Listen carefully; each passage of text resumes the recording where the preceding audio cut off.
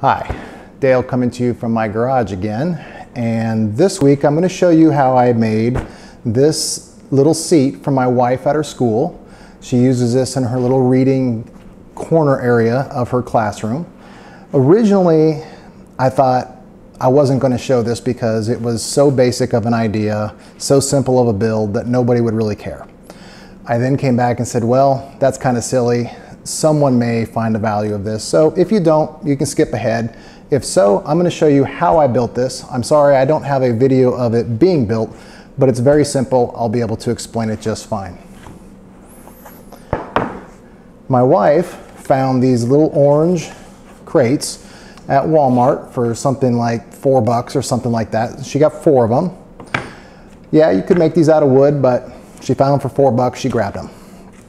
I then created out of scrap the seat that fits on nice and neat, nice and solid, very solid. I can sit on this no problem. I did have to buy the fabric and the little padding that goes below this.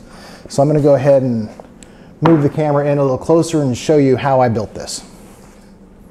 The first thing that you wanna do is you wanna measure the inside both ways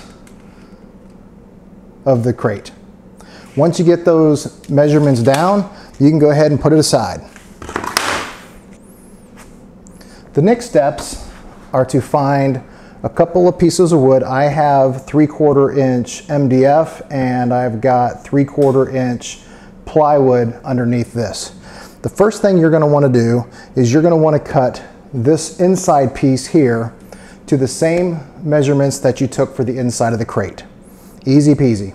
The next thing you're going to want to do is cut your larger piece, which will actually become the seat.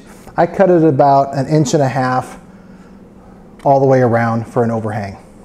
You cut that out, you glue this down. I put a few screws into it to hold it while the glue dries.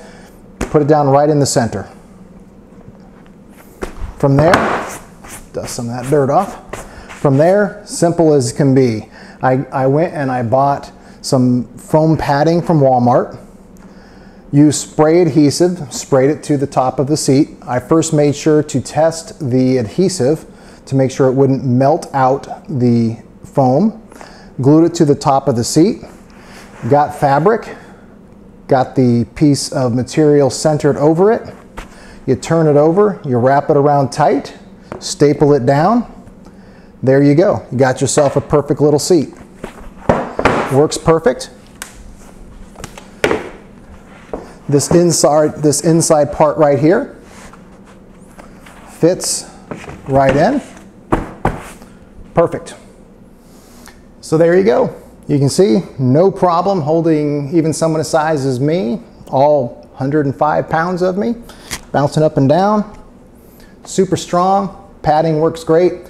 Each one probably took literally probably about 10 minutes to make.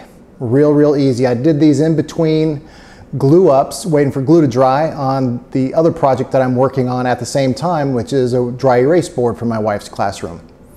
So if you liked it, give a thumbs up, subscribe. If you didn't, I'll try to do a better video next, next time. See ya.